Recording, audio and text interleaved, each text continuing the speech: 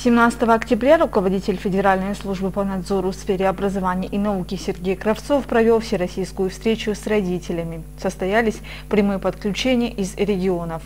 Подобную встречу поддержали и в Кашхабльской школе номер один родители учащихся 9 и 11 классов. Хочу сказать, что вообще введение сочинений очень позитивно сыграло для а, системы образования. Мы вернули сочинение как допуск к единому государственному экзамену. И мы видим, что введение сочинений, в частности, повлияло на изучение литературы, на улучшение знаний по русскому языку.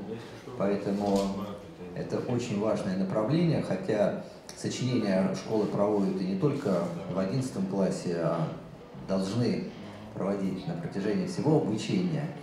И а, та модель сочинения, которая введена, она вот пока в этом году будет такая же, как в прошлом году.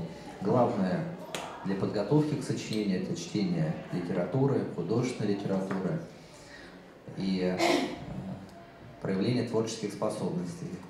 Поэтому надеюсь, что с сочинением наши школьники тоже успешно справятся в этом году.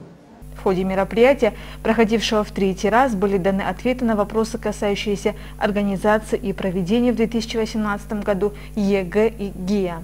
В 2018 году итоговое сочинение в рамках ЕГЭ будет оцениваться, как и в текущем году, по принципу «зачет-не зачет». Отвечая на вопрос о возможных грядущих новшествах в процедуре ЕГЭ, чиновник заверил, что серьезных изменений не планируется.